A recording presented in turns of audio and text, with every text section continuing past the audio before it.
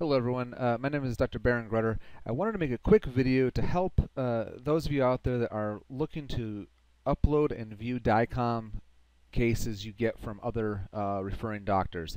Uh, and if you don't have a software that is ready to upload them with, I just wanted to point out that if you come to Blue Sky Bio, blueskyplan.com, there is a free software that will allow you to uh, view these DICOMs. It also has other options as far as guided surgery and uh, ortho and whatnot, but if all you're looking to do is view it, it is, a, is still a free software to download and use. So we're gonna we, after you download it, you install it. This is what the software is going to look like. Now, right now, we are in the orthodontic module, so it's going to look a lot different than any of your typical DICOM softwares. So first thing we want to do is you, you can kind of familiarize yourself with some of the different tools up here, um, but mostly if we're just going to be viewing, uh, there's not a whole lot of need for a lot of the, the, top menus. The first thing we will do though is want to make sure that we are in a viewing mode. Right now, if I click on module, we're in orthodontics. If I come over to surgical guide, I can click right here on viewing. There's normal and advanced. These are for actually designing surgical guides. If all you're looking to do is simply review the DICOM, we'll just click here on viewing. It will change views.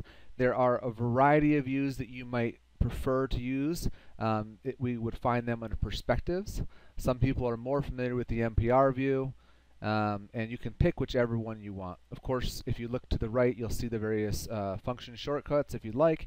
I prefer to stick with the uh, the uh, implant tangential uh, 3, uh, but that's usually because I'm planning a surgical guide. Okay, so once you've got the software open, to open up to uh, a new DICOM, you can simply click right here, at, which is a shortcut for Start Patient from CT Scan. If you click on File, it's the same thing under this menu. Be aware you're not opening a project. This is not a project that you have begun working on. If you have begun reviewing it and you made some notes and you want to open it back up, this would be the button. But if this is a new scan, just save, uh, save the effort, click here, and it will bring up a file browser. Now me, the example I have here is right on my desktop in a folder called example, example DICOM, and here was the file. You can see, as I showed earlier, this is the folder and I just this is where it would have come. If it's on a, a, a disk, the same thing. You're just going to find that file, that DICOM. You don't have to keep clicking. Just click right here, click OK, and let the software load it up. It's going if you have multiple DICOMs on here, it's going to list each one of them so you can pick which one. For instance, um, you may have been tracking a patient over time, and you may have a variety of them on this disk or in this folder. So pick the one you want to open. Most of the time, most of us will only have one to select. Click here. And now the one thing that is important is this is an opportunity to correct any misalignments when taking the scan.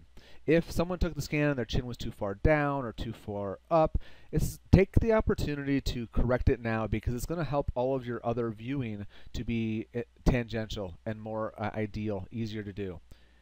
You can crop it as well if you'd like. Most of the time I don't spend a lot of time doing that. Perhaps here, um, if you're planning a case and you want to minimize the data and increase the speed at which your computer works, it is sometimes ideal to trim it down. But for the most part, this uh, plane of occlusion looks pretty flat here. Everything looks good. I'm going to click OK.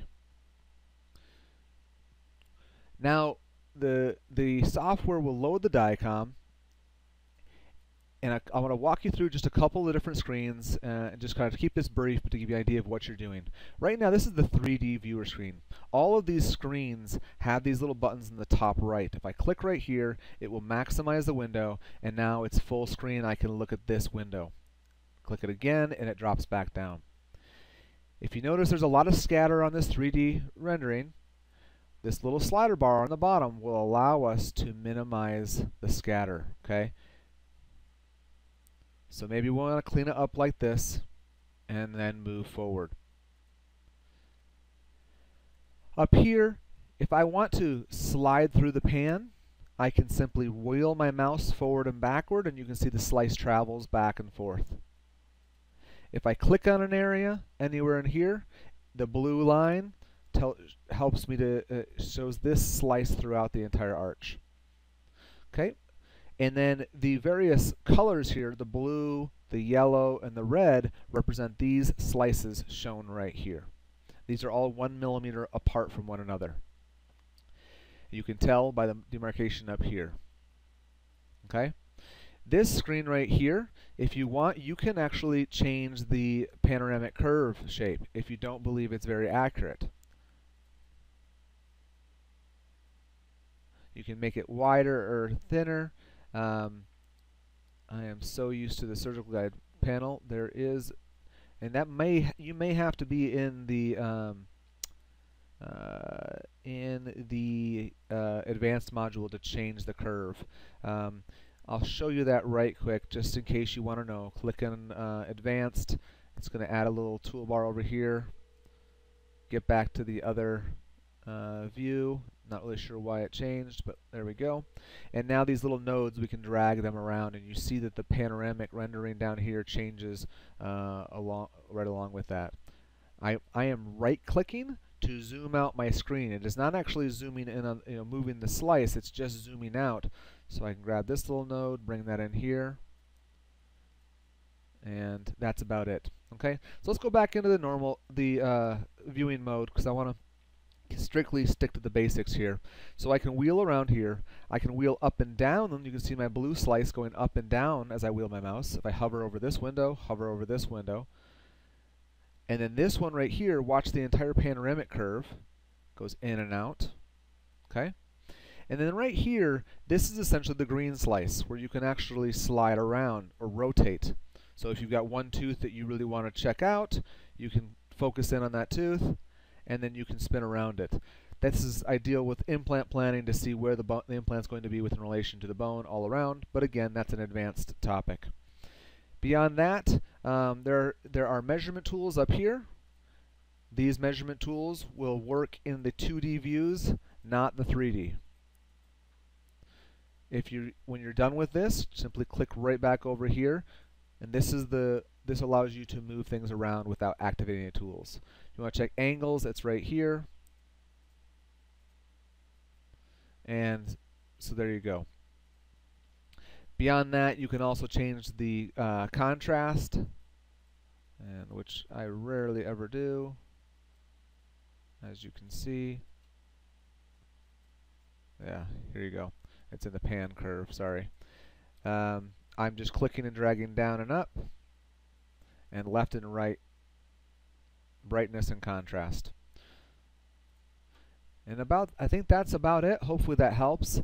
Um, if you want to map nerves, that is going to be an advanced function. Okay, so feel free to uh, wander into those modules as well. If you look at my YouTube channel, I have a whole series on using the guided surgery uh, module, and that goes over a lot of the how to add a tooth, how to map a nerve, some of the base how to add a virtual tooth before you even get into the actual complexity of um, uh, planning surgical guides. So there's a little more tools there. This is just a quick little glimpse of the uh, viewer module.